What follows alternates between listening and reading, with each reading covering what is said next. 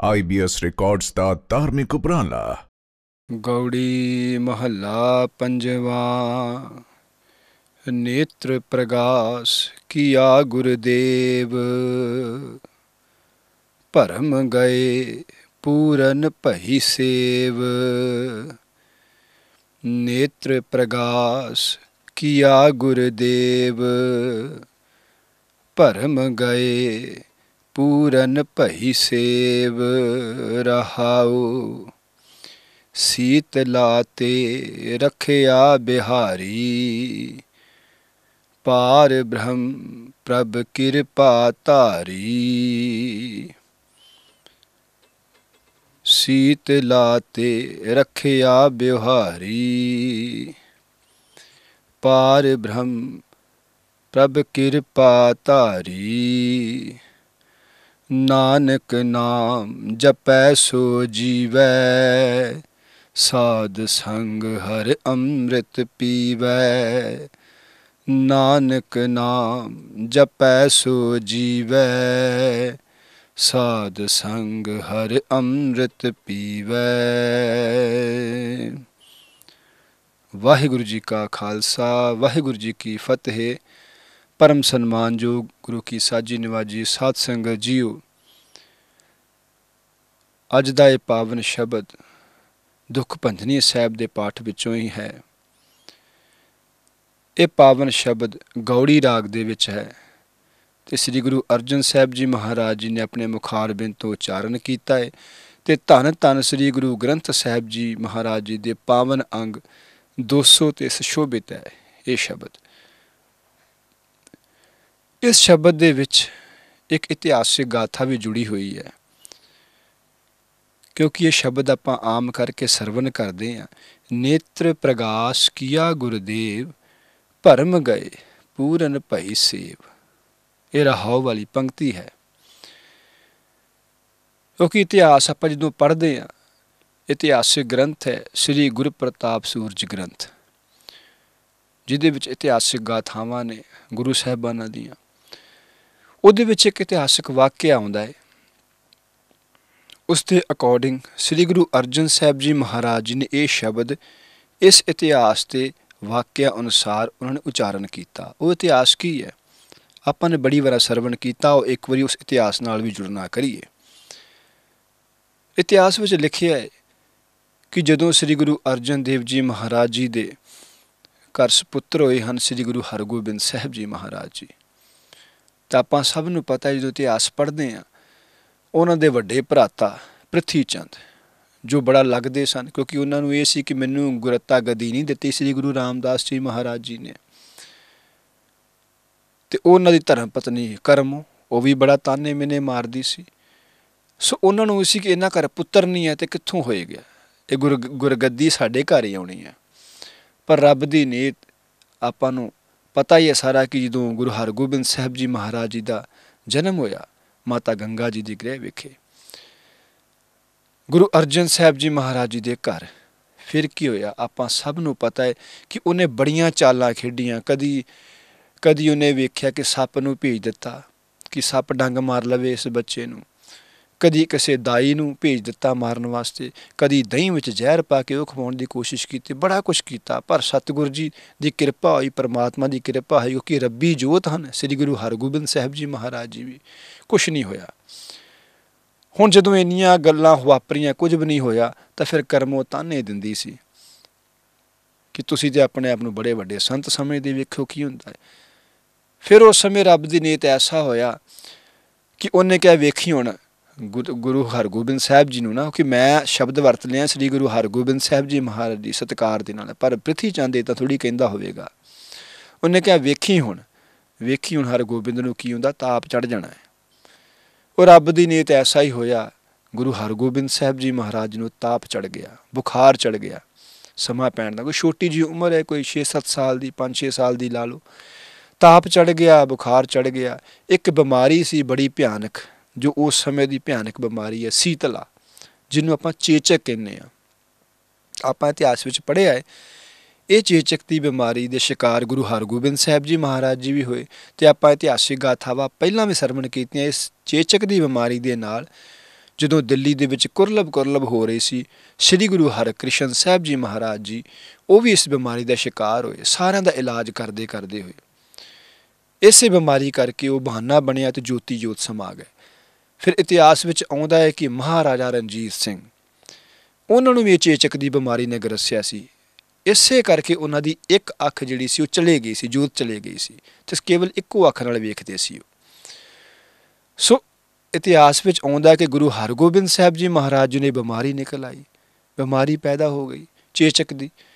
ਕਹਿੰਦੇ ਸਾਰਾ ਸਰੀਰ ਲਾਲ ਹੋ ਗਿਆ, ਹਥੇਲੀਆਂ, ਪੈਰਾਂ ਦੀਆਂ ਤਲੀਆਂ ਲਾਲਗੀ ਨਾਲ ਭਰ ਗਈਆਂ। ਮੂੰਹ, ਚਿਹਰਾ, ਸਾਰੇ ਛਾਤੀ, ਸਾਰੇ ਸਰੀਰ ਦਾ ਅੰਗ ਤੇ ਛੋਟੀਆਂ ਛੋਟੀਆਂ ਫਿੰਸੀਆਂ, ਉਹ ਨਿਕਲਣੀਆਂ ਸ਼ੁਰੂ ਹੋ ਗਈਆਂ, ਦਾਣੇ ਛੋਟੇ ਛੋਟੇ ਸਰੀਰ ਉੱਤੇ। ਉਹ ਰੂਪ ਧਾਰਦੇ ਗਏ ਧਾਰਦੇ ਗਏ, ਦਿਨੋਂ ਦਿਨੋਂ ਵੱਡੇ ਹੁੰਦੇ ਗਏ। ਇੱਥੋਂ ਤੱਕ ਹੋ ਗਿਆ ਕਿ ਗੁਰੂ ਹਰਗੋਬਿੰਦ ਸਾਹਿਬ ਜੀ ਮਹਾਰਾਜ ਜੀ ਦੇ ਮੂੰਹ ਦੇ ਵਿੱਚ ਵੀ ਛਾਲੇ ਹੋ ਗਏ। ਨਾ ਕੁਝ ਖਾਦਾ ਜਾਂਦਾ, ਨਾ ਕੁਝ ਪੀਤਾ ਜਾਂਦਾ, ਨਾ ਕੁਝ ਬੋਲ ਸਕਦੇ ਸੀ। ਅੱਖਾਂ ਦੇ ਉੱਪਰ ਵੀ ਹੋ ਗਏ ਤੇ ਨਾ ਕੁਝ ਵੇਖ ਸਕਦੇ ਸੀ। ਬਸ ਲੰਮੇ ਪੈ ਰਹਿੰਦੇ ਸੀ। ਪਾਸਾ ਵੀ ਨਹੀਂ ਪਲਟ ਸਕਦੇ ਸੀ ਇਤਿਹਾਸ ਵਿੱਚ ਲਿਖਿਆ, ਇੰਨਾ ਜ਼ਿਆਦਾ ਬਿਮਾਰੀ ਨੇ ਗ੍ਰਸ ਲਿਆ ਸੀ ਸਤਿਗੁਰੂ ਨੂੰ। ਜਦੋਂ ਮਾਤਾ ਗੰਗਾ ਜੀ ਨੇ ਦੇਖਿਆ, ਉਹ ਕਿ ਮਾਤਾ ਸੀ ਦੁਖੀ ਹੋਏ, ਉਹਨਾਂ ਨੇ ਸ੍ਰੀ ਗੁਰੂ ਅਰਜਨ ਸਾਹਿਬ ਜੀ ਮਹਾਰਾਜ ਜੀ ਨੂੰ ਬੇਨਤੀ ਕੀਤੀ, ਕਿਰਪਾ ਕਰੋ, ਤੁਸੀਂ ਤੇ ਸਾਰਿਆਂ ਦੇ ਦੁੱਖ ਦੂਰ ਕਰਦੇ ਹੋ। ਸੱਚਖੰਡ ਹਰਮੰਦਰ ਸਾਹਿਬ ਇੱਕ ਐਸਾ ਤੁਸੀਂ ਮੰਦਰ ਤਿਆਰ ਕੀਤਾ, ਐਸਾ ਸਰੋਵਰ ਤਿਆਰ ਕਰਵਾਇਆ ਗੁਰੂ ਰਾਮਦਾਸ ਜੀ ਮਹਾਰਾਜ ਜੀ ਦਾ, ਜਿੱਥੇ ਵੱਡੇ ਵੱਡੇ ਦੁਖੀ ਆ ਕੇ ਆਪਣਾ ਦਰਦ ਛੱਡ ਕੇ ਚਲ ਜਾਂਦੇ ਤੇ ਸੁੱਖ ਘਰ ਵਿੱਚ ਲੈ ਜਾਂਦੇ ਹਨ। ਕਿਰਪਾ ਕਰੋ, ਆਪਣੇ ਪੁੱਤਰ ਨੂੰ ਇਹ ਬਿਮਾਰੀ ਨਿਕਲ ਆਈ ਹੈ। ਗੁਰੂ ਅਰਜਨ ਸਾਹਿਬ ਜੀ ਮਹਾਰਾਜ ਜੀ ਨੇ ਕਿਹਾ ਕਿ ਇਹ ਤੇ ਸਤਿਗੁਰੂ ਦੀ ਦੇਣ ਹੈ। ਜੇ ਦੁੱਖ ਆਇਆ ਤੇ ਸੁੱਖ ਵੀ ਆਵੇਗਾ। ਜੇ ਦੁੱਖ ਆਇਆ ਹੈ ਤੇ ਸੁੱਖ ਵੀ ਆਵੇਗਾ। ਘਬਰਾਓ ਨਾ ਕੁਝ ਨਹੀਂ ਹੁੰਦਾ। ਹੌਸਲਾ ਰੱਖਿਆ। ਸਤਿਗੁਰ ਨੇ ਜਦੋਂ ਇੰਨੇ ਬਚਨ ਕੀਤੇ ਹਨ, ਉਹ ਦਿਨੋ ਦਿਨ ਬਿਮਾਰੀ ਘਟਣੀ ਸ਼ੁਰੂ ਹੋ ਗਈ।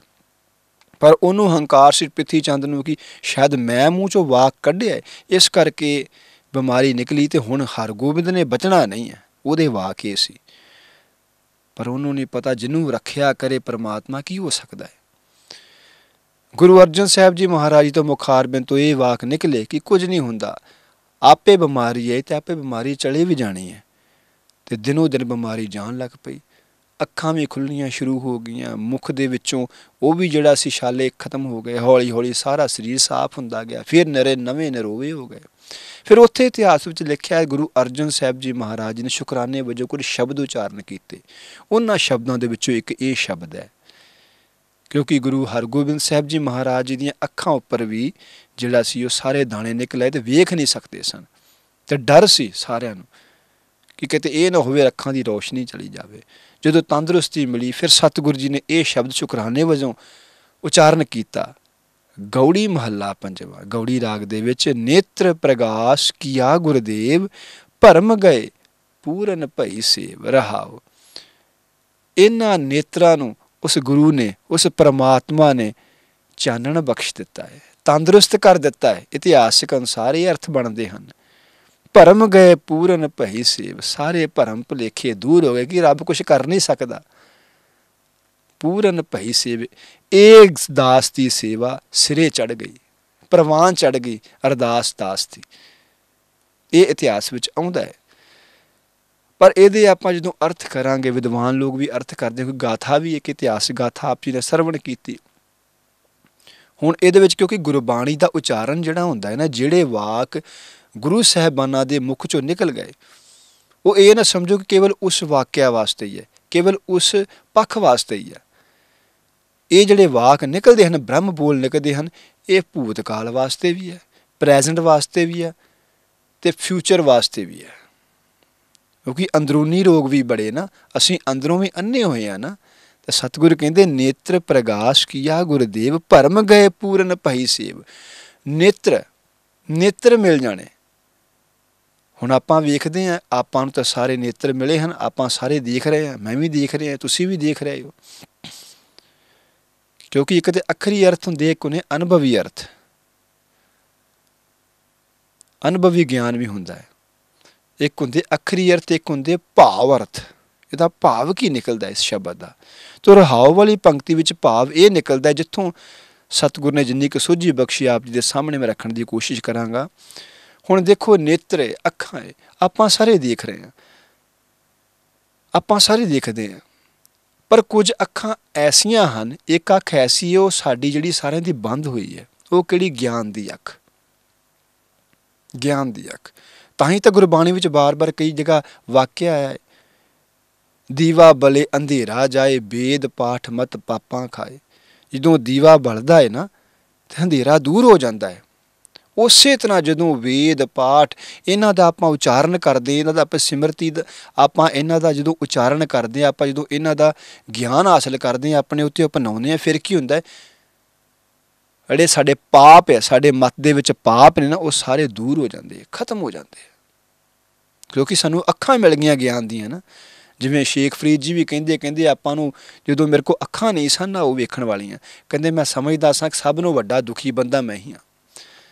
ਸਭ ਨੂੰ ਵੱਡਾ ਦੁਖੀ ਬੰਦਾ ਮੈਂ ਹੀ ਹਾਂ, ਬਾਬਾ ਸ਼ੇਖ ਫਰੀਦ ਜੀ। ਮੈਨੂੰ ਇਹ ਭੁਲੇਖਾ ਸੀ ਕਿ ਮੈਂ ਹੀ ਦੁਖੀ ਹਾਂ ਸਭ ਤੋਂ ਵੱਡਾ ਦੁਨੀਆ ਦੇ ਵਿੱਚ। ਹੋਰ ਕਿਸੇ ਨੂੰ ਇਹਨਾਂ ਵੱਡਾ ਦੁੱਖ ਨਹੀਂ ਹੈ। ਕਹਿੰਦੇ ਪਰ ਜਦੋਂ ਮੈਨੂੰ ਅੱਖਾਂ ਦਿੱਤੀਆਂ, ਰੱਬ ਨੇ ਵੈਸੀਆਂ ਗਿਆਨ ਦੀਆਂ, ਫਿਰ ਮੇਰਾ ਭੁਲੇਖਾ ਦੂਰ ਹੋ ਗਿਆ। ਫਿਰ ਮੈਂ ਵੇਖਿਆ ਉਹ ਹੋ ਹੋ, ਮੈਂ ਨਹੀਂ ਦੁਖੀ ਤਾਂ ਸਾਰਾ ਜੱਗ ਹੀ ਦੁਖੀ ਹੈ। ਫਰੀਦਾ, ਮੈਂ ਜਾਣਿਆ, ਦੁੱਖ ਮੁਝ ਕੋ, ਦੁੱਖ ਸੁਭਾਇਆ ਜੱਗ, ਉੱਚੇ ਚੜ ਕੇ ਦੇਖਿਆ, ਤਾਂ ਘਰ ਘਰ ਇਹ ਅੱਗ। ਕਹਿੰਦੇ ਜਦੋਂ ਮੈਂ ਗਿਆਨ ਮਿਲਿਆ, ਜਦੋਂ ਸੁਰਤੀ ਤੋਂ ਉੱਪਰ ਚੜ ਕੇ ਵੇਖਿਆ, ਗਿਆਨ ਦੇ ਸੂਰਜ ਉੱਤੇ ਚੜ ਕੇ ਵੇਖਿਆ, ਮੈਨੂੰ ਪਤਾ ਲੱਗਾ, ਲੈ, ਇਹ ਤੇ ਘਰ ਘਰ ਵਿੱਚ ਇਹੋ ਅੱਗ ਲੱਗੀ ਪਈ ਹੈ, ਕਿਉਂਕਿ ਅੱਖਾਂ ਨਹੀਂ ਸਨ ਨਾ। ਜਦੋਂ ਅੱਖਾਂ ਨਹੀਂ ਹੁੰਦੀਆਂ, ਫਿਰ ਕੀ ਹੁੰਦਾ? ਫਿਰ ਬੰਦਾ ਅੰਨਾ ਹੁੰਦਾ ਹੈ। ਤੇ ਗੁਰੂ ਅਮਰਦਾਸ ਜੀ ਮਹਾਰਾਜ ਜੀ ਕਹਿੰਦੇ ਹਨ, ਅੰਧੇ ਇਹ ਨਾ ਆਖੀਆਂ ਜਿਨ ਮੁਖ ਲੋਇਣ ਨਾ ਹੈ ਅੰਧੇ ਸੇਈ ਨਾਨਕਾ, ਜੋ ਖਸਮੋ ਕੁੱਥੇ ਜਾਏ ਸਤਿਗੁਰ ਕਹਿੰਦੇ, ਉਹਨਾਂ ਨੂੰ ਅੰਨਾ ਬਿਲਕੁਲ ਨਾ ਆਖੋ। ਜਿਨ੍ਹਾਂ ਦੀਆਂ ਅੱਖਾਂ ਨਹੀਂ ਹੈਗੀਆਂ, ਨਾ ਉਹਨਾਂ ਨੂੰ ਅੰਨਾ ਨੂੰ ਆਖੋ। ਅਸਲ ਵਿੱਚ ਅੰਨੇ ਉਹ ਹਨ, ਜਿਹੜੇ ਖਸਮ ਤੋਂ ਟੁੱਟੇ ਹਨ, ਜਿਨ੍ਹਾਂ ਨੂੰ ਪ੍ਰਮਾਤਮਾ ਨਜ਼ਰ ਨਹੀਂ ਆਉਂਦਾ। ਜਿਨ੍ਹਾਂ ਨੂੰ ਦੂਸਰੇ ਇਨਸਾਨ ਦੇ ਵਿੱਚ ਰੱਬ ਨਜ਼ਰ ਨਹੀਂ ਆਉਂਦਾ, ਜਿਹੜੇ ਇੱਕ ਦੂਜੇ ਨਾਲ ਨਫ਼ਰਤ ਕਰਦੇ ਹਨ, ਅਸਲ ਵਿੱਚ ਉਹ ਅੰਨੇ ਹਨ। ਨਾ ਉਹਨਾਂ ਨੂੰ ਜੀਵ ਜੰਤੂਆਂ ਵਿੱਚ ਰੱਬ ਨਜ਼ਰ ਆਉਂਦਾ ਹੈ, ਨਾ ਇਨਸਾਨਾਂ ਵਿੱਚ ਨਜ਼ਰ ਆਉਂਦਾ ਹੈ। ਨਫ਼ਰਤ ਨਾਲ ਭਰੇ ਹੋਏ ਹਨ, ਕਹਿੰਦੇ ਅਸਲ ਵਿੱਚ ਉਹ ਅੰਨੇ ਹਨ। ਜਿਨ੍ਹਾਂ ਦੀਆਂ ਅੱਖਾਂ ਆ ਨਹੀਂ ਹਨ, ਉਹਨਾਂ ਨੂੰ ਅੰਨਾ ਨਾ ਆਖੋ, ਗੁਰੂ ਅਮਰਦਾਸ ਜੀ ਕਹਿੰਦੇ। ਫਿਰ ਕੀ ਉਹਨਾਂ ਨੂੰ ਇਹ ਦੁਨੀਆ ਨਜ਼ਰ ਨਹੀਂ ਆਉਂਦੀ? ਪਰ ਉਹਨਾਂ ਨੂੰ ਆਪਣਾ ਅੰਤਰ ਆਤਮਾ ਪਰਮਾਤਮਾ ਤੇ ਨਜ਼ਰ ਆਉਂਦਾ ਹੈ ਨਾ। ਭਗਤ ਸੂਰਦਾਸ ਜੀ ਬੈਠੇ ਹਨ ਗੁਰੂ ਗ੍ਰੰਥ ਸਾਹਿਬ ਜੀ ਮਹਾਰਾਜ ਜੀ ਦੇ ਵਿੱਚ। ਕੇਵਲ ਇੱਕੋ ਸ਼ਬਦ ਹੈ ਉਹਨਾਂ ਦਾ। ਸਤਿਗੁਰੂ ਜੀ ਨੇ ਉਹਨਾਂ ਨੂੰ ਤਖਤ ਦਿੱਤਾ, ਗੁਰੂ ਗ੍ਰੰਥ ਸਾਹਿਬ ਜੀ ਮਹਾਰਾਜ ਦੇ ਵਿੱਚ ਬਿਰਾਜਮਾਨ ਕਰਵਾਇਆ। ਕਿਉਂਕਿ ਉਹਨਾਂ ਦੀਆਂ ਅੱਖਾਂ ਨਹੀਂ ਸਨ, ਪਰ ਪਰਮਾਤਮਾ ਨੂੰ ਵੇਖ ਸਕਦੇ ਸਨ ਇੱਥੇ ਆ ਅੱਖਾਂ ਦੀ ਗੱਲ ਨਹੀਂ ਹੈ, ਗਿਆਨ ਦੀਆਂ ਅੱਖਾਂ ਦੀ ਗੱਲ ਹੈ। ਗਿਆਨ ਦੀਆਂ ਅੱਖਾਂ ਦੀ ਗੱਲ ਹੈ। ਤੇ ਭਗਤ ਕਬੀਰ ਜੀ ਤੇ ਕਹਿੰਦੇ ਹਨ, ਭਗਤ ਕਬੀਰ ਜੀ ਕਹਿੰਦੇ ਕਿ ਮੈਂ ਤੇ ਹੈਰਾਨ ਹੈ ਕਿ ਹਰ ਇੱਕ ਬੰਦੇ ਨੂੰ ਬੁੱਧੀ ਰੂਪੀ ਅੱਖ ਦਿੱਤੀ ਹੈ ਰੱਬ ਨੇ, ਪਰ ਉਹਦਾ ਇਸਤੇਮਾਲ ਨਹੀਂ ਕਰਦਾ। ਤੇ ਜੇ ਉਹਦਾ ਇਸਤੇਮਾਲ ਨਹੀਂ ਕਰਦਾ, ਫਿਰ ਉਹਨੂੰ ਕੀ ਆਖੋਗੇ ਤੁਸੀਂ? ਭਗਤ ਕਬੀਰ ਜੀ ਦਾ ਬੋਲ ਵੀ ਤੁਹਾਡੇ ਸਾਹਮਣੇ ਰੱਖ ਦਵਾਂ। ਭਗਤ ਕਬੀਰ ਜੀ ਕਹਿੰਦੇ, ਕਬੀਰ ਮਨ ਜਾਣਤ ਸਭ ਬਾਤ, ਜਾਣਤ ਹੀ ਔਗਣ ਕਰੇ, ਕਾਹੇ ਕੀ ਕੁਸ਼ਲਾਤ, ਹਾਥ ਦੀਪ ਕੂਏ ਪਰੇ। ਕਹਿੰਦੇ, ਕਮਾਲ ਦੀ ਗੱਲ ਹੈ, ਮਨ ਸਭ ਕੁਝ ਜਾਣਦਾ ਹੈ, ਕਿਉਂਕਿ ਮਨ ਦੇ ਵਿੱਚ ਬੁੱਧੀ ਦਿੱਤੀ, ਸਿਆਣਪ ਦਿੱਤੀ ਰੱਬ ਨੇ। ਪਰ ਜਾਣਦੇ ਹੋਏ ਕਹਿੰਦੇ, ਔਗਣ ਕਰੇ। ਜਾਣਦੇ ਹੋਏ ਪਾਪ ਕਰੇ। ਅੱਖਾਂ ਹੁੰਦਿਆਂ ਸਾਰ, ਬੁੱਧੀ ਦੀ ਗਿਆਨ ਦੀਆਂ ਅੱਖਾਂ ਹੁੰਦਿਆਂ ਅਨੁਸਾਰ ਕਹਿੰਦੇ ਭੈੜੇ ਕੰਮ ਕਰੇ, ਹੱਥ ਵਿੱਚ ਦੀਪਕ ਹੋਵੇ, ਉਦਾਹਰਨ ਦਿੰਦੇ ਹਨ, ਤੇ ਬੰਦਾ ਤੁਰਿਆ ਜਾਵੇ, ਚਾਨਣ ਵੀ ਹੈ, ਤੇ ਫਿਰ ਵੀ ਕਹਿੰਦੇ ਖੂਹ 'ਚ ਡਿੱਗ ਪਵੇ, ਫਿਰ ਉਹਨੂੰ ਕੀ ਆਖੋਗੇ? ਫਿਰ ਉਹਨੂੰ ਪਾਗਲ ਹੀ ਕਹੋਗੇ ਨਾ, ਕਮਲਾ ਹੀ ਕਹੋਗੇ ਨਾ, ਹੱਥ ਵਿੱਚ ਦੀਪਕ ਵੀ ਹੈ, ਫਿਰ ਵੀ ਖੂਹ 'ਚ ਡਿੱਗ ਪਿਆ, ਚਾਨਣ ਵੀ ਹੈ। ਇਸੇ ਤਰ੍ਹਾਂ ਸਤਿਗੁਰੂ ਜੀ ਕਹਿੰਦੇ ਹਨ ਕਹਿੰਦੇ ਹਨ ਕਿ ਉਹ ਅੰਨੇ ਉਹ ਹਨ, ਜਿਨ੍ਹਾਂ ਨੂੰ ਕੁਝ ਦਿਸਦਾ ਹੀ ਨਹੀਂ ਹੈ। ਜਿਨ੍ਹਾਂ ਨੂੰ ਰੱਬ ਨਹੀਂ ਦਿਸਦਾ, ਜਿਨ੍ਹਾਂ ਨੂੰ ਅੰਦਰੋਂ ਗਿਆਨ ਹੀ ਨਜ਼ਰ ਆਇਆ।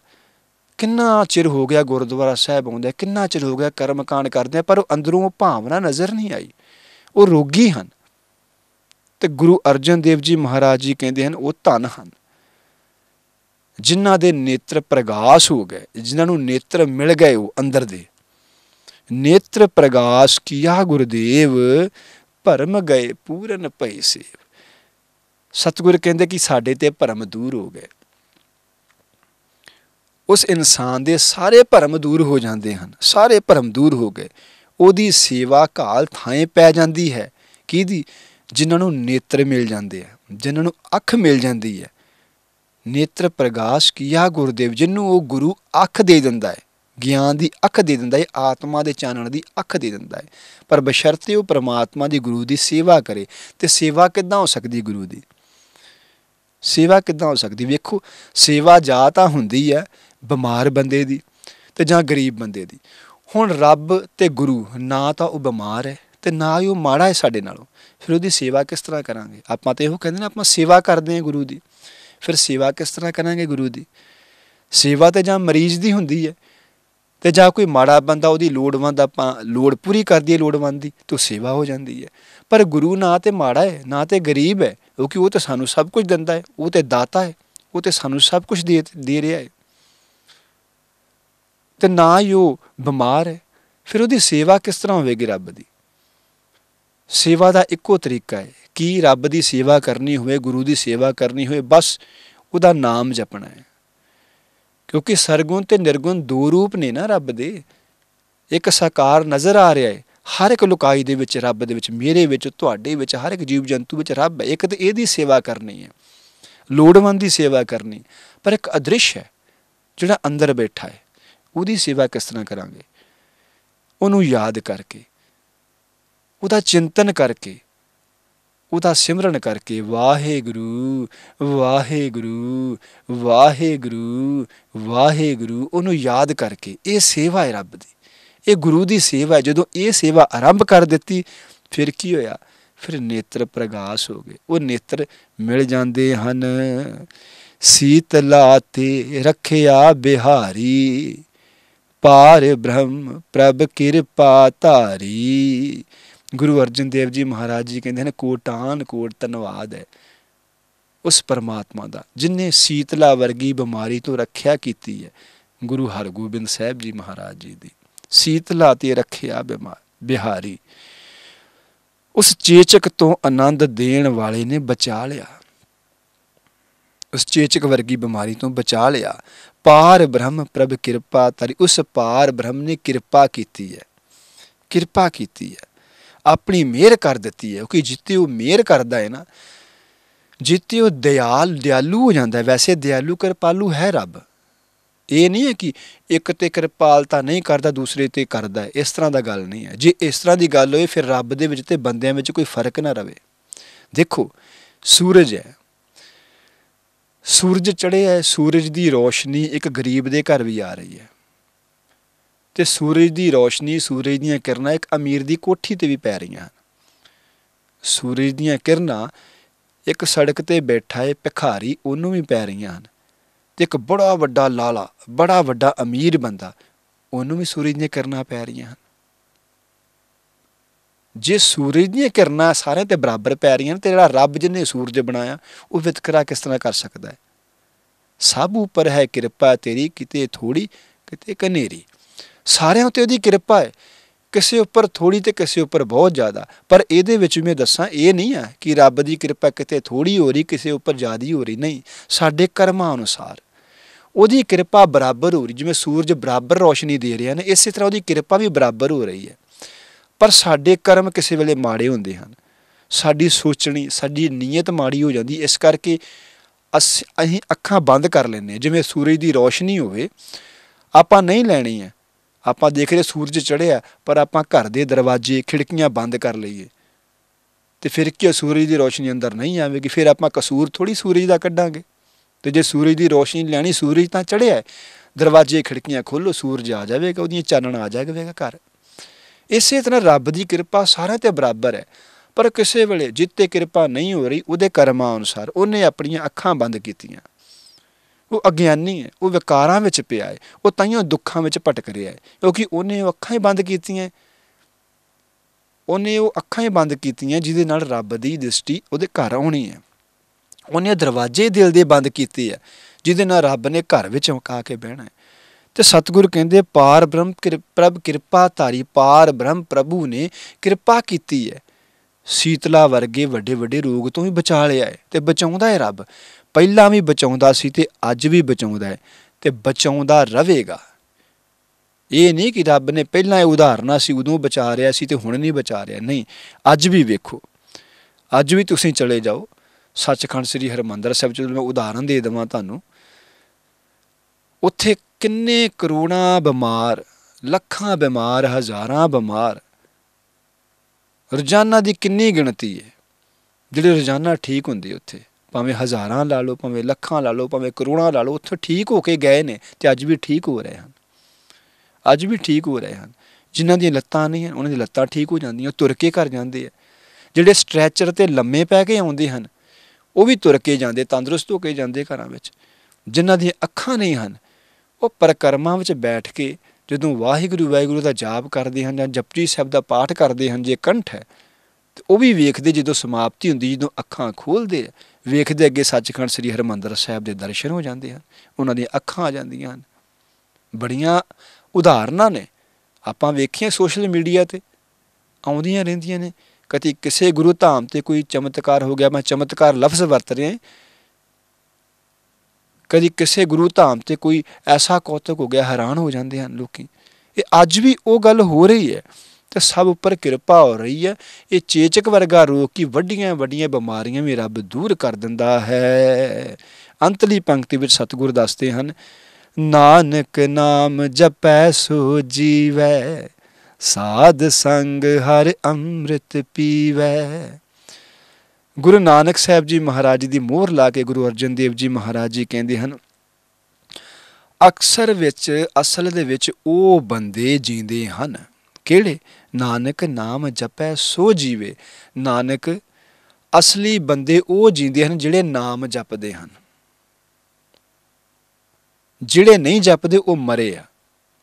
ਗੁਰੂ ਨਾਨਕ ਸਾਹਿਬ ਜੀ ਨੇ ਆਪਣੀ ਬਾਣੀ ਵਿੱਚ ਲਿਖਿਆ ਹੈ, ਆਖਾਂ ਜੀਵਾਂ ਵਿਸਰੈ ਮਰ ਜਾਉ। ਗੁਰੂ ਨਾਨਕ ਸਾਹਿਬ ਜੀ ਕਹਿੰਦੇ, ਜਦੋਂ ਮੈਂ ਉਹਦਾ ਨਾਮ ਬੋਲਦਾ ਹਾਂ, ਉਦੋਂ ਮੈਂ ਜੀਂਦਾ ਹਾਂ। ਉਦੋਂ ਮੈਂ ਜੀ ਰਿਹਾ ਹੁੰਨਾ ਜਦੋਂ ਕਿਤੇ ਮੈਨੂੰ ਭੁੱਲ ਜਾਂਦਾ ਹੈ, ਉਦੋਂ ਮਰ ਜਾਂਦਾ ਹੈ। ਸਾਨੂੰ ਉਦਾਹਰਣ ਦੇਣ ਵਾਸਤੇ ਸਤਿਗੁਰੂ ਨੇ ਦੱਸਿਆ ਹੈ। ਵੈਸੇ ਤਾਂ ਸਤਿਗੁਰੂ ਜੀ ਤੇ ਹਮੇਸ਼ਾ ਉਹਦੇ ਨਾਲ ਸੁਰਤੀ ਜੁੜੀ ਰਹਿੰਦੀ ਹੈ, ਸਾਨੂੰ ਸਮਝਾਉਣ ਵਾਸਤੇ। ਆਖਾਂ ਜੀਵਾਂ ਵਿਸਰੈ ਮਰ ਜਾਉ। ਜਦੋਂ ਵਿਸਰ ਜਾਂਦਾ, ਉਦੋਂ ਮੈਂ ਮਰ ਜਾਂਦਾ ਤੇ ਇਹਦਾ ਮਤਲਬ ਸਾਨੂੰ ਵਿਸਰਿਆ ਹੋਇਆ, ਭੁੱਲਿਆ ਹੋਇਆ, ਆਪਾਂ ਕਿੰਨਾ ਕੁ ਰੱਬ ਨੂੰ ਯਾਦ ਕਰਦੇ ਆ ਆਪਾਂ ਨੂੰ ਵੇਖੋ, ਸਾਡੀ ਝੋਲੀ ਵਿੱਚ ਦੋ ਟਾਈਮ ਦਾ ਨਿਤਨੇਮ ਪਾਇਆ 2.5 ਘੰਟੇ ਦਾ ਨਿਤਨੇਮ ਪਾਇਆ, ਦਿਨ ਰਾਤ ਕਾ ਦਿਨ ਰਾਤ ਦੇ ਵਿੱਚ 24 ਘੰਟਿਆਂ ਦੇ ਵਿੱਚ। ਕਿ ਆਪਾਂ 2.5 ਘੰਟੇ ਨਿਰੰਤਰ ਨਿਤਨੇਮ ਕਰਦੇ ਆ ਆਪਾਂ ਤਾਂ 10-15 ਮਿੰਟ ਵੀ ਰੱਬ ਦਾ ਨਾਮ ਦਾ ਨਹੀਂ ਕੱਢਦੇ ਅੰਮ੍ਰਿਤ ਵੇਲੇ। ਵਾਹਿਗੁਰੂ ਵਾਹਿਗੁਰੂ ਨਹੀਂ ਜਪਦੇ। ਫਿਰ ਉਹਦੀ ਬਖਸ਼ਿਸ਼ ਕਿੱਥੋਂ ਹੋਣੀ ਆ? ਆਪਾਂ ਤਾਂ ਮਰੇ ਹੋਏ ਆ। ਮਰੇ ਹੋਏ ਦਾ ਸਬੂਤ ਹੈ, ਮਰੇ ਹੋਏ ਬੰਦੇ ਕੋ ਬਦਬੂ ਆਉਂਦੀ ਹੈ। ਮਰੇ ਹੋਏ ਬੰਦੇ ਕੋ ਬੂ ਆਉਣ ਲੱਗ ਪੈਂਦੀ ਹੈ। ਉਹਦੇ ਲਾਗੇ ਕੋਈ ਨਹੀਂ ਜਾਂਦਾ, ਸਾਡੇ ਕੋ ਵੀ ਬੂ ਆਉਂਦੀ ਹੈ। ਸਾਡੇ ਕੋਲ ਵਿਕਾਰਾਂ ਦੀ ਬੂ ਆਉਂਦੀ, ਹਉਮੈ ਦੀ ਬੂ ਆਉਂਦੀ ਹੈ। ਈਰਖਾ ਦੀ ਬੂ ਆਉਂਦੀ ਹੈ, ਚੁਗਲੀ ਦੀ ਬੂ ਆਉਂਦੀ, ਨਿੰਦਿਆ ਦੀ ਬੂ ਆਉਂਦੀ ਹੈ। ਹਰ ਇੱਕ ਬੰਦੇ ਦੀ ਵਾਈਬ੍ਰੇਸ਼ਨ ਹੈ, ਪ੍ਰਭਾਵਿਤ ਕਰਦੀ ਹੈ। ਇਸੇ ਕਰਕੇ ਮਾੜੇ ਬੰਦਿਆਂ ਦੀ ਤਾਦਾਦ ਜ਼ਿਆਦਾ ਹੈ। ਇੱਕ ਤੇ ਪੋਲੂਸ਼ਨ ਉਹ ਹੈ ਨਾ ਜਿਹੜਾ ਦੁਨੀਆ ਤੇ ਫੈਲਿਆ ਪ੍ਰਦੂਸ਼ਣ, ਇੱਕ ਪੋਲੂਸ਼ਨ ਇਹ ਵੀ ਹੈ ਲੋਕਾਂ ਦੀਆਂ ਜਿਹੜੀਆਂ ਸੋਚਣ ਦੀਆਂ ਤਰੰਗਾਂ ਨੇ, ਇਹ ਵੀ ਪ੍ਰਦੂਸ਼ਣ ਹੈ ਬੜਾ ਵੱਡਾ, ਇਹ ਵੀ ਪ੍ਰਭਾਵਿਤ ਕਰਦਾ, ਚੰਗੇ ਬੰਦੇ ਨੂੰ ਪਰਾ ਪ੍ਰਭਾਵਿਤ ਕਰਦਾ, ਉਹ ਕਹਿੰਦਾ ਮੈਂ ਦੂਰ ਜਾਵਾਂ ਐਸੇ ਲੋਕਾਂ ਤੋਂ। ਤੇ ਸਤਿਗੁਰ ਕਹਿੰਦੇ ਕਿਉਂਕਿ ਮਰੇ ਹੋਏ ਨਾ ਸਾਰੇ ਕਿਉਂਕਿ ਪਰਮਾਤਮਾ ਨੂੰ ਯਾਦ ਨਹੀਂ ਕਰਦੇ। ਤੇ ਗੁਰੂ ਅਰਜਨ ਦੇਵ ਜੀ ਕਹਿੰਦੇ, ਨਾਨਕ ਨਾਮ ਜਪੈ ਸੋ ਜੀਵੈ। ਜਿਹੜਾ ਨਾਮ ਜਪਦਾ ਹੈ ਉਹ ਜਿਉਂਦਾ ਹੈ ਜਿਹੜਾ ਕਰਦਾ ਹੈ ਵਾਹਿਗੁਰੂ ਵਾਹਿਗੁਰੂ ਵਾਹਿਗੁਰੂ, ਉਹ ਜਿਉਂਦਾ ਹੈ ਉਹ ਜਿਉਂਦਾ ਹੈ ਤੇ ਜਿਹੜਾ ਨਹੀਂ ਜਪਦਾ, ਉਹ ਮਰਿਆ ਹੋਇਆ ਹੈ। ਸਾਧ ਸੰਗ ਹਰ ਅੰਮ੍ਰਿਤ ਪੀਵੇ। ਤੇ ਜਿਹੜਾ ਸਾਧ ਸੰਗਤ ਵਿੱਚ ਜਾ ਕੇ ਅੰਮ੍ਰਿਤ ਪੀਂਦਾ ਹੈ ਨਾਮ ਦਾ ਅੰਮ੍ਰਿਤ ਪੀਂਦਾ ਹੈ ਉਹ ਤੇ ਬੰਦਾ ਜਿਉਂਦਾ ਹੈ ਇੱਥੇ ਨੁਕਤਾ ਵੀ ਦੱਸਿਆ ਕਿ ਨਾਮ ਕਿੱਦਾਂ ਜਪਣਾ, ਅੰਮ੍ਰਿਤ ਕਿੱਦਾਂ ਪੀਣਾ ਤੇ ਜਿਉਣਾ ਕਿੱਦਾਂ ਜੇ। ਜੇ ਤੁਸੀਂ ਨਾਮ ਨਹੀਂ ਨਾ ਜਪਦੇ, ਉਹਦੀ ਚੇਟਕ ਤੁਹਾਨੂੰ ਕਿੱਦਾਂ ਲੱਗੇਗੀ? ਕਿੱਦਾਂ ਲੱਗੇਗੀ ਤੁਸੀਂ ਸਤ ਸੰਗਤ ਵਿੱਚ ਜਾਣਾ ਸ਼ੁਰੂ ਕਰ ਦਿਓ? ਤੁਹਾਨੂੰ ਸਮਝ ਆਵੇ ਭਾਵੇਂ ਨਾ ਆਵੇ। ਤੁਸੀਂ ਉੱਥੇ ਬੈਠੋ ਬਸ ਚੌਂਕੜਾ ਮਾਰ ਕੇ, ਜੋ ਵੀ ਉੱਥੇ ਗਾਇਨ ਹੋ ਰਿਹਾ, ਕੀਰਤਨ, ਕਥਾ, ਵਿਚਾਰ, ਗੁਰਬਾਣੀ, ਉਹਨੂੰ ਸਰਵਣ ਕਰੋ। ਉਹਦੇ ਵਿੱਚੋਂ ਸਿੱਖਿਆ ਲੈਣ ਦੀ ਕੋਸ਼ਿਸ਼ ਕਰੋ। ਉਹਨੂੰ ਸੁਣਨ ਦਾ ਯਤਨ ਕਰੋ। ਤੁਹਾਡਾ ਮਨ ਭਟਕੇਗਾ। ਪਰ ਤੁਸੀਂ ਬੈਠਣਾ ਹੈ ਉੱਥੇ ਢੀਠ ਹੋ ਕੇ। ਸਰਵਣ ਕਰਨਾ ਕਰੋ ਉਹਦੇ ਗੁਣਾਂ ਨੂੰ। ਜਿਉਂ-ਜਿਉਂ ਉਹਦੇ ਗੁਣਾਂ ਨੂੰ ਸਰਵਣ ਕਰਨਾ ਸ਼ੁਰੂ ਕਰ ਦੋਗੇ, ਤਿਉਂ-ਤਿਉਂ ਉਹਦੀ ਵੀ ਕਿਰਪਾ ਹੋਵੇਗੀ। ਫਿਰ ਤੁਹਾਨੂੰ ਅੰਮ੍ਰਿਤ ਦਾ ਰਸ ਆਉਣਾ ਸ਼ੁਰੂ ਹੋ ਜਾਵੇਗਾ। ਫਿਰ ਤੁਹਾਨੂੰ ਪਤਾ ਲੱਗੇਗਾ, ਓਹੋ, ਮੇਰੀ ਜ਼ਿੰਦਗੀ ਤੇ ਅਜਾਈ ਲੰਘ ਗਈ। ਮੈਂ ਇੰਨੇ ਸਾਲ ਐਵੇਂ ਭਟਕਦਾ ਰਿਹਾ, ਇੰਨੇ ਐਵੇਂ ਸਾਲ ਭਟਕਦਾ ਰਿਹਾ। ਕਿੱਥੇ ਚਲ ਗਈ? ਬੜਾ ਦੁੱਖ ਲੱਗੇਗਾ ਉਸ ਦਿਨ ਬੰਦੇ ਨੂੰ, ਕਿਉਂਕਿ ਉਸ ਦਿਨ ਉਹਦੀਆਂ ਅੱਖਾਂ ਖੁੱਲ ਜਾਂਦੀਆਂ ਹਨ, ਉਸ ਦਿਨ ਉਹਦੇ ਨੇਤਰ ਪ੍ਰਗਾਸ ਹੋ ਜਾਂਦੇ ਹਨ। ਉਹਨੂੰ ਪਤਾ ਲੱਗ ਜਾਂਦਾ ਹੈ ਕਿ ਮੈਂ ਐਵੇਂ ਜ਼ਿੰਦਗੀ ਬਤੀਤ ਕਰ ਦਿੱਤੀ। ਮੈਂ ਤੇ ਮਰਿਆ ਹੋਇਆ ਸੀ, ਮੈਂ ਤੇ ਇੱਕ ਲਾਸ਼ ਸੀ, ਮੈਂ ਤੇ ਇੱਕ ਲਾਸ਼ ਵਾਂਗੂ, ਬਸ ਜਿਸ ਤਰ੍ਹਾਂ ਲਾਸ਼ ਨੂੰ ਸ਼ਿੰਗਾਰ ਦੇਈਦਾ ਨਾ, ਜਦੋਂ ਕਿਸੇ ਵੇਲੇ ਕਿਸੇ ਬੰਦੇ ਦੀ ਚੜ੍ਹਾਈ ਹੋ ਜਾਂਦੀ ਮ੍ਰਿਤਿੂ ਹੋ ਜਾਂਦੀ, ਆਪਾਂ ਵੇਖਦੇ ਹਾਂ ਉਹਨੂੰ ਸ਼ਿੰਗਾਰ ਵੀ ਕਰਦੇ ਕਿਸੇ ਵੇਲੇ। ਉਹਦਾ ਸ਼ਿੰਗਾਰ ਵੀ ਕਰਦੇ, ਬੜੇ ਸੋਹਣੇ ਵਸਤਰ ਉਹਨੂੰ ਪਾਉਂਦੇ ਹਨ। ਫਿਰ ਉੱਪਰ ਬੜੀ ਸੋਹਣੀ ਚਾਦਰ ਪਾਉਂਦੇ ਪਕਾਨੇ ਲਾਉਂਦੇ ਹਨ, ਪਤਾ ਨਹੀਂ ਕਿੰਨੀ ਸਜਾਵਟ ਕਰਦੇ ਹਨ। ਕਹਿੰਦੇ ਇਸ ਤਰ੍ਹਾਂ ਮੁਰਦਾ ਸੱਜਿਆ ਹੋਇਆ ਹੈ ਨਾ ਜਿਉਂਦੇ ਇਹ ਲਾਸ਼ਾਂ ਤੁਰ ਰਹੀਆਂ ਨੇ ਪਰਮਾਤਮਾ ਕਹਿੰਦੇ, ਰੱਬ ਕਹਿੰਦਾ ਹੈ, ਗੁਰੂ ਕਹਿੰਦਾ ਹੈ। ਕਿਉਂ? ਕਿਉਂਕਿ ਪਰਮਾਤਮਾ ਦਾ ਨਾਮ ਨਹੀਂ ਜਪਤੇ ਤੇ ਮਰੇ ਹੋਏ ਆ ਨਾ। ਨਾਨਕ ਨਾਮ ਜਪੈ ਸੋ ਜੀਵੇ। ਜਿਹੜਾ ਨਾਮ ਜਪਦਾ, ਉਹ ਜਿਉਂਦਾ। ਇਹ ਫੈਸਲਾ ਆਪਾਂ ਆਪੇ ਕਰਨਾ ਹੈ, ਆਪਣੇ ਤਲ ਉੱਤੇ। ਆਪਾਂ ਸਾਰਿਆਂ ਨੇ ਆਪਣੇ ਅੰਦਰ ਝਾਤੀ ਮਾਰਨੀ ਵਾਕਈ ਅਸੀਂ ਜੀ ਰਹੇ ਹਾਂ ਕਿ ਮਰ ਰਹੇ ਹਾਂ ਅਸੀਂ ਕਿੰਨਾ ਕੁ ਨਾਮ ਜਪਦੇ ਹਾਂ ਸਾਨੂੰ ਆਪਣੇ ਆਪ ਪਤਾ ਲੱਗ ਜਾਵੇ ਕਿਸੇ ਕੋ ਪੁੱਛਣ ਦੀ ਲੋੜ ਨਹੀਂ ਹੈ ਗੁਰੂ ਨੇ ਕਹਿ ਦਿੱਤਾ ਨਾਨਕ ਨਾਮ ਜਪੈ ਸੋ ਜੀਵੈ ਸਾਧ ਸੰਗ ਹਰ ਅੰਮ੍ਰਿਤ ਪੀਵੇ ਤੁਸੀਂ ਆਪਣੇ ਅੰਦਰ ਝਾਤੀ ਮਾਰਨੀ ਸ਼ੁਰੂ ਕਰ ਦਿਓ ਆਪਾਂ ਸਾਰੇ ਕਿ ਵੇਖੀ ਕਿ ਅਸੀਂ ਕਿੰਨਾ ਕੁ ਜੀ ਰਹੇ ਹਾਂ ਕਿਤੇ ਅਸੀਂ ਮੁਰਦਾ লাশ ਵਾਂਗੂ ਤਾਂ ਨਹੀਂ ਇੱਧਰ ਉੱਧਰ ਆਪਣੀ লাশ ਨੂੰ ਢੋ ਰਹੇ ਆਪਣੇ ਸਰੀਰ ਨੂੰ ਇਹਨੂੰ ਤਾਂ ਨਹੀਂ ਢੋ ਰਿਹਾ ਕਿਤੇ, ਸਾਨੂੰ ਪਤਾ ਲੱਗ ਜਾਵੇਗਾ। ਤੇ ਸਾਧ ਸੰਗ ਹਰ ਅੰਮ੍ਰਿਤ ਪੀਵੇ। ਤੇ ਸਾਧ ਸੰਗਤ ਵਿੱਚ ਜਾ ਕੇ ਸਾਧੂਆਂ ਦਾ ਸੰਗ ਕਰਕੇ ਜਿਹੜੇ ਸਾਧੇ ਹੋਏ ਹਨ ਭੇਖ ਧਾਰੀ ਸਾਧੂ ਨਹੀਂ ਕਿਉਂਕਿ ਭੇਖ ਧਾਰੇ ਦੇ ਕਿਉਂਕਿ ਬਾਰ-ਬਾਰ ਇਹ ਗੁਰਬਾਣੀ ਵਿੱਚ ਲਫ਼ਜ਼ ਆਉਂਦੇ ਨੇ, ਸਤ ਸੰਗਤ ਕਰੋ, ਸਾਧੂਆਂ ਦੀ ਸੰਗਤ ਕਰੋ, ਪਰ ਸਾਧੂ ਕਿਹੜੇ ਨੇ? ਸੁਖਮਨੀ ਸਾਹਿਬ ਦੇ ਵਿੱਚ ਇੱਕ ਅਸ਼ਟਪਦੀ ਹੈ, ਜਿਹਦੇ ਵਿੱਚ ਸਾਧੂਆਂ ਦੀ ਬੜੀ ਵੱਡੀ ਮਹਿਮਾ ਲਿਖੀ ਹੈ। ਪਤਾ ਦੱਸਿਆ ਕਿ ਸਾਧੂ ਕਿਹੜੇ ਹੁੰਦੇ ਹਨ? ਇਸ ਸਮੇਂ ਸਮਾਂ ਨਹੀਂ ਹੈ। ਕਿਉਂਕਿ ਸਮੇਂ ਨੂੰ ਮੁੱਖ ਰੱਖ ਕੇ ਤੁਹਾਡੇ ਸਾਹਮਣੇ ਰੋਜ਼ ਹੀ ਦੁੱਖ ਪੰਜਨੀ ਸਾਹਿਬ ਦੇ ਪਾਠ ਦਾ ਇੱਕ ਇੱਕ ਸ਼ਬਦ ਦੀ ਵਿਚਾਰ ਕਰਨੀ ਹੈ। ਇਸ ਕਰਕੇ ਮੈਂ ਜ਼ਿਆਦਾ ਵਿਸਥਾਰ ਵਿੱਚ ਨਹੀਂ ਜਾਵਾਂਗਾ। ਕਹਿਣ ਦਾ ਮਤਲਬ ਸਾਧੂ ਉਹ ਹੈ ਜਿਨੇ ਆਪਣੇ ਆਪ ਨੂੰ ਸਾਧਿਆ ਹੋਇਆ ਜਿਨੇ ਆਪਣੇ ਆਪ ਨੂੰ ਸਾਧਿਆ ਹੈ, ਉਹ ਸਾਧੂ ਐਸੇ ਸਾਧੂਆਂ ਦੀ ਸੰਗਤ ਕਰਨੀ ਹੈ। ਜਦੋਂ ਐਸੇ ਸਾਧੂਆਂ ਦੀ ਸੰਗਤ ਕਰੋਗੇ, ਜੇ ਤੁਹਾਨੂੰ ਐਸਾ ਬੰਦਾ ਨਹੀਂ ਲੱਭਦਾ, ਫਿਰ ਗੁਰਦੁਆਰੇ ਆਓ। ਜਿੱਥੇ ਗੁਰੂ ਦੀ ਗੱਲ ਸੁਣਾਈ ਜਾਂਦੀ ਹੈ, ਬਸ। ਜਿੱਥੇ ਗੁਰੂ ਦੀ ਗੱਲ ਸੁਣਾਈ ਜਾਂਦੀ, ਜਿੱਥੇ ਗੁਰੂ ਦਾ ਸੱਚ ਦਾ ਹੋਕਾ ਦਿੱਤਾ ਜਾਂਦਾ ਹੈ, ਉਹ ਸਤ ਸੰਗਤ ਹੈ। ਉੱਥੇ ਆ ਕੇ ਬੈਠੋ, ਉੱਥੇ ਆ ਕੇ ਬੈਠ ਕੇ ਸੰਗਤ ਕਰਨੀ ਕਰੋ। ਫਿਰ ਵੇਖਿਓ ਤੁਹਾਨੂੰ ਕਿੱਦਾਂ ਉਹ ਜਿਹੜੇ ਝਰਨੇ ਚੱਲਣਗੇ, ਅਮਰ ਦੇ ਝਰਨੇ ਚੱਲਣਗੇ ਅੰਦਰ। ਤੁਹਾਡੀ ਜੀਬਾ ਦੇ ਵਿੱਚ, ਜੀਬਾ ਦੇ ਵਿੱਚ ਰਸ ਆਉਣਾ ਸ਼ੁਰੂ ਹੋ ਜਾਵੇਗਾ। ਤੁਹਾਡੇ ਬੋਲਾਂ ਵਿੱਚ ਰਸ ਆ ਜਾਵੇਗਾ, ਤੁਹਾਡੀ ਵੇਖਣੀ ਵਿੱਚ ਰਸ ਆ ਜਾਵੇਗਾ। ਤੁਹਾਡੇ ਲਾਗੇ ਜਿਹੜਾ ਵੀ ਬੈਠੇਗਾ, ਉਹ ਕਹੇਗਾ, ਮੈਂ ਇਸ ਇਨਸਾਨ ਦੇ ਲਾਗੇ ਬਹਿਣਾ ਕਿਉਂਕਿ ਇਹਦੇ ਕੋਲੋਂ ਖੁਸ਼ਬੂ ਆਉਂਦੀ ਹੈ। ਇਹਦੇ ਕੋਲੋਂ ਬੜੀ ਖੁਸ਼ਬੂ ਆਉਂਦੀ ਜਿਵੇਂ ਫੁੱਲਾਂ ਲਾਗੋ ਖੁਸ਼ਬੂ ਆਉਂਦੀ ਹੈ ਨਾ, ਇਸ ਇਨਸਾਨ ਕੋਲੋਂ ਵੀ ਖੁਸ਼ਬੂ ਆਉਂਦੀ ਹੈ, ਆਉਣ ਲੱਗ ਪੈਂਦੀ ਹੈ। ਕਿਉਂਕਿ ਉਹਦੇ ਸਵਾਸਾਂ ਦੇ ਵਿੱਚ ਜਦੋਂ ਬਾਣੀ ਰੱਜ ਜਾਂਦੀ ਹੈ, ਨਾਮ ਜਪ ਜਾਂਦਾ, ਉਹਦੇ ਸਵਾਸਾਂ ਵਿੱਚ ਸਮੈਲ ਆਉਣ ਲੱਗ ਪੈਂਦੀ ਹੈ, ਸੁਗੰਧ ਆਉਣ ਲੱਗ ਪੈਂਦੀ ਹੈ। ਉਹ ਸੁਗੰਧ ਤਾਂ ਆਵੇਗੀ ਜੇ ਨਾਮ ਜਪੇਗਾ। ਜੇ ਨਾਮ ਨਹੀਂ ਜਪੇਗਾ, ਫਿਰ ਬੂ ਆਵੇਗੀ, ਜਿਵੇਂ ਮੁਰਦੇ ਬੰਦੇ ਕੋ ਜਿਵੇਂ ਮੁਰਦੇ ਬੰਦੇ ਕੋ ਇਹ ਅੱਜ ਦਾ ਜਿਹੜਾ ਸ਼ਬਦ ਹੈ, ਇਹ ਆਪਾਂ ਅੱਜ ਸਰਵਣ ਕੀਤਾ ਹੈ ਅੱਜ ਦਾ ਸ਼ਬਦ ਇਸ ਸ਼ਬਦ ਦੇ ਵਿੱਚ ਗੁਰੂ ਅਰਜਨ ਸਾਹਿਬ ਜੀ ਮਹਾਰਾਜ ਜੀ ਨੇ ਇੱਕ ਤੇ ਇਤਿਹਾਸਿਕ ਗਾਥਾ ਹੈ ਤੁਹਾਡੇ ਸਾਹਮਣੇ ਸਰਵਣ ਕੀਤੀ, ਤੁਸੀਂ ਸਰਵਣ ਕੀਤੀ ਹੈ। ਦਾਸ ਨੇ ਬਿਆਨ ਕੀਤੀ ਹੈ ਕਿ ਜਦੋਂ ਗੁਰੂ ਹਰਗੋਬਿੰਦ ਸਾਹਿਬ ਜੀ ਮਹਾਰਾਜ ਨੂੰ ਚੇਚਕ ਨਿਕਲੀ ਸੀ, ਚੇਚਕ ਠੀਕ ਹੋਈ। ਗੁਰੂ ਦੀ ਕਿਰਪਾ ਨਾਲ, ਪ੍ਰਮਾਤਮਾ ਦੀ ਕਿਰਪਾ ਨਾਲ ਗੁਰੂ ਅਰਜਨ ਸਾਹਿਬ ਜੀ ਮਹਾਰਾਜ ਜੀ ਨੇ ਇਹ ਜਿਹੜਾ ਸ਼ਬਦ ਹੈ ਉਚਾਰਨ ਕੀਤਾ, ਨੇਤਰ ਪ੍ਰਗਾਸ਼ ਕੀਆ ਗੁਰਦੇਵ, ਭਰਮ ਗਏ ਪੂਰਨ ਭਈ ਸੇਵ, ਸੀਤਲਾ ਤੇ ਰਖਿਆ ਬਿਹਾਰੀ ਪਾਰ, ਬ੍ਰਹਮ ਪ੍ਰਭ ਕਿਰਪਾ ਧਾਰੀ, ਨਾਨਕ ਨਾਮ ਜਪੈ ਸੋ ਜੀਵੈ, ਸਾਧ ਸੰਗ ਹਰ ਅੰਮ੍ਰਿਤ ਪੀਵੈ। ਤੇ ਸਤਿਗੁਰੂ ਜੀ ਨੇ ਕਿਰਪਾ ਕੀਤੀ, ਮਿਹਰਾਮਤ ਕੀਤੀ ਹੈ। ਇਹ ਇਤਿਹਾਸ ਵੀ ਤੁਹਾਡੇ ਸਾਹਮਣੇ ਰੱਖਿਆ ਤੇ ਇਹ ਸ਼ਬਦ ਦੀ ਇੱਥੇ ਸਮਾਪਤੀ ਹੈ।